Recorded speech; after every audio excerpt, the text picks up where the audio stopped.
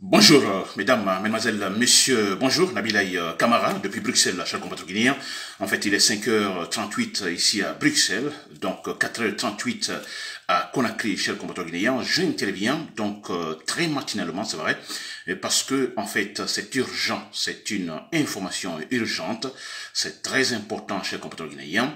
Je viens d'apprendre, ce sont pour le moment des rumeurs, des rumeurs persistantes, des rumeurs qui en fait, qui planent, des rumeurs qui se diffusent, des rumeurs qui se consolident, chers compatriotes guinéens.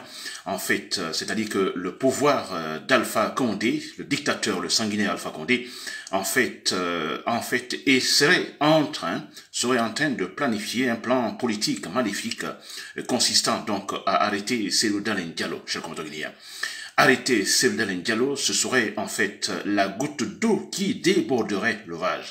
Cher compatriotes guinéen, c'est inacceptable, vous le savez très bien. Arrêtez cette dernière dialogue. Même une simple garde à vue, c'est inacceptable. Cher compatriotes guinéen, pour le moment, ce sont des rumeurs. Je dis bien, mais des rumeurs persistantes.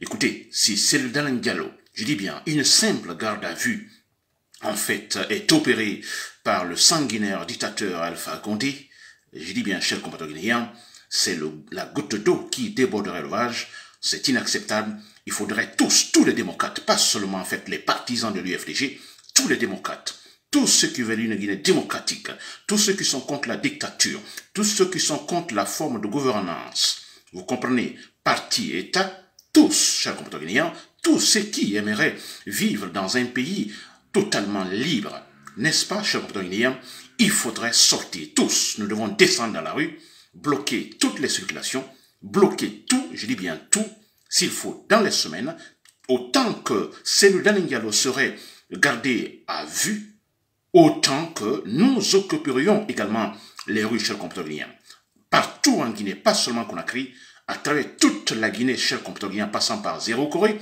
Cancan, Labé, Kindia, Conakry. Chers compatriotes je dis bien, arrêtez Cellule Nialo, arrêter Sid le principal opposant guinéen, l'homme qui a gagné les élections du 18 octobre dernier, qui est donc le président légitime, donc son cas serait sur la table du dictateur sanguinaire Alpha Condé, c'est-à-dire vouloir l'arrêter. Nous savons tous qu'Alpha Condé a horreur de l'opposition. Alpha Condé ne veut pas l'opposition. Alpha Condé veut la disparition de l'opposition. Toucher ce Diallo, je dis bien, écoutez, c'est la fin du système d'Alpha Condé, alors qu'il plane chez le guinéen.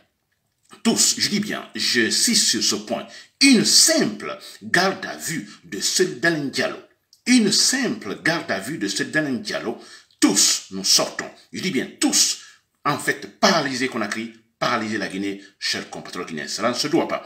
Alpha Condé et ses hommes, en fait, tenteraient de placer des arguments avec ses procureurs corrompus le fait que ce Dalen Diallo, vous comprenez, à partir, après les élections du 18 octobre dernier, ce serait en fait autoproclamé président de la République, alors cet argument ou une argumentation relative à ce fait donc serait également travaillé de façon machiavélique par le pouvoir d'Alpha Condé pour pouvoir arrêter ce Diallo. Dans quel pays démocratique, après les élections, un candidat un candidat, en fait, aux élections, n'est-il pas autorisé à dire que, en fait, il est gagnant? S'autoproclamer. Dans quelle démocratie? Cela ne se passe pas, surtout quand on sait que les élections, les élections ont été trichées, les élections se sont très mal déroulées, chers compatriotes N'est-ce pas? Alors, je dis, je le répète, l'information, c'est urgent, c'est important. Pour le moment, ce sont des rumeurs. Alpha Condé tenterait d'arrêter cette dernière galop. Ce serait la goutte d'eau qui déborderait le vage. Nous devons sortir. Nous devons sortir en ce moment, tous, je dis bien tous, pour paralyser Conakry, paralyser la Guinée à jamais. Voilà, c'était Nabilaï Kamara depuis Bruxelles. Nous aurons d'autres informations à partir de ce soir contre le Guinéen concernant cette situation.